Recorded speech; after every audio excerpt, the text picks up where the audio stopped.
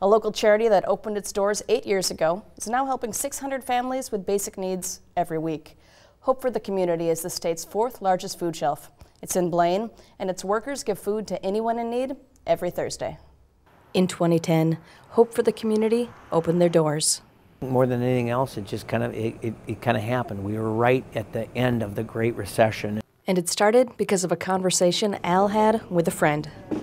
I'm a pastor too, but I, I was talking to my congregation and challenging them to connect with old friends.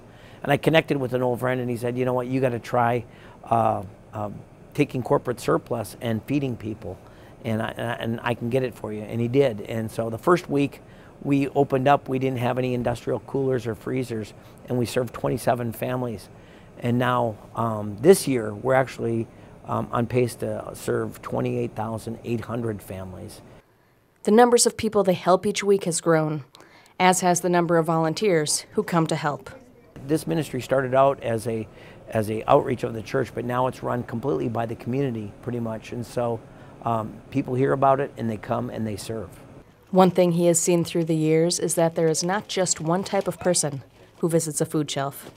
There's a stereotype of, of, of a person that needs help. And you know what? I mean, this is Blaine. Okay, we're one of, we are the biggest city in Anoka County, and, and in the suburbs, it, the, the need across the socioeconomic barriers, uh, gender barriers, and, and, and, age barriers as well. So we, there's a great need for uh, the seniors and also for the children. At Hope for the Community, everyone is welcome, no matter where they live. We've never turned anyone away here in, in since 2010 who, if they come, anyone comes in and needs help, we help them. If they're homeless, we help them. If they're from a different city, we help them. We have people that come all the way from Duluth, believe it or not, that come to this place, and so um, we help them. We never turn anyone away. Many food shelf visitors want to share their story of why they are here.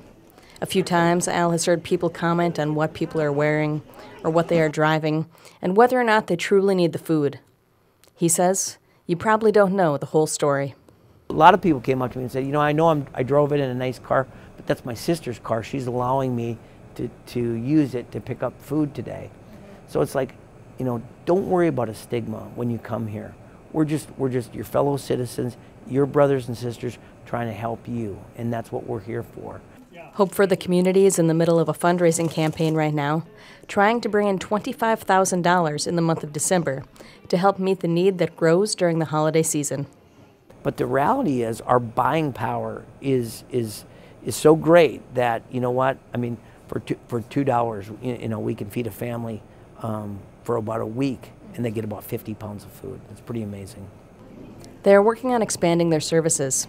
In addition to the Blaine location, they recently opened a second location in Elko New Market that is open once a month, and they are looking at opening another location a little further north.